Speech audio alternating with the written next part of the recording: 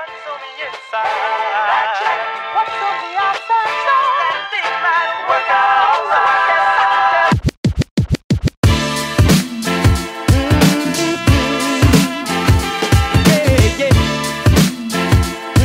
Cześć, dzisiaj pokażę Wam jak w prosty sposób wymienić wkład lusterka. Chodzi o szkło e, lusterka zewnętrznego w samochodzie Fiat Bravo drugiej generacji.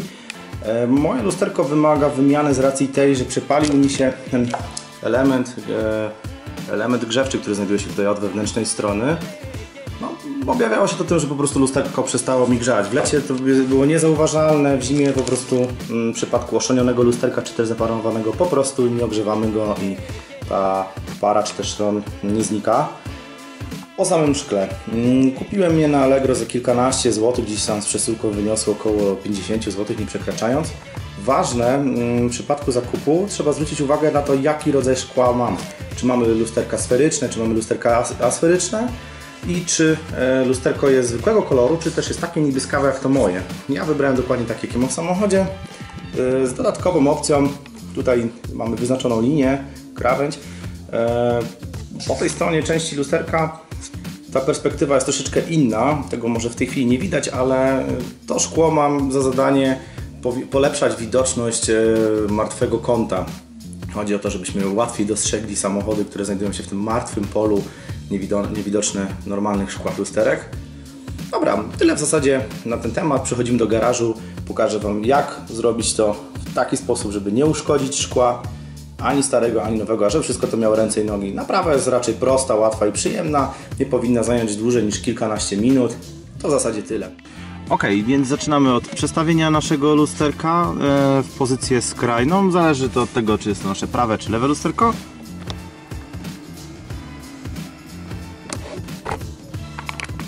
Dobra, i tak jak widzicie, tutaj mamy taką szczelinkę pomiędzy szkłem a obudową lusterka. W środku, jak się przyjrzycie, widać zaczep. No I naszym zadaniem teraz będzie podważenie tego zaczepu tak, żeby nam to szkło wyskoczyło za pomocą tego specjalistycznego narzędzia zwanego śrubokrętem będę starał się wyciągnąć to szkło.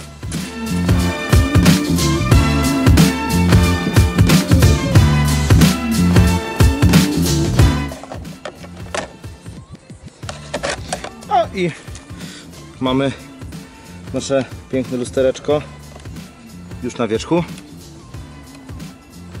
No, tak wygląda. No i co, następnie podpinamy konektory delikatnie, żeby nic nie urwać. Śrubokręcik sobie położymy. I ciach, i mamy. Tak oto wygląda całe. Nawet się nie stłukło. Nie wiemy, czy winowajcą grzejącego lusterka jest sam wkład, samo szkło, czy też e, jakiś inny problem.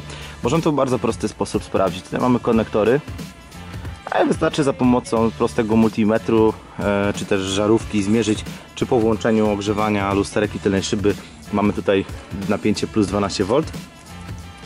Prosta sprawa, kupujemy sobie taki mierniczek, ustawiamy go na zakres 20V prądu e, stałego.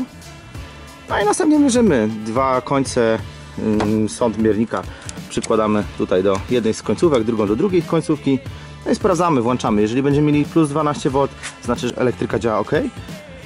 No i zostaje nam tylko zamontować nowy wkład.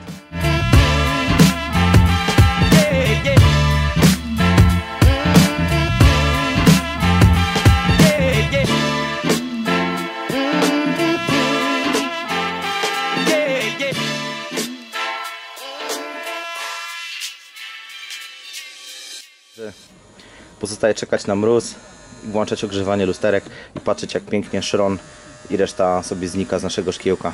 To tyle, dzięki.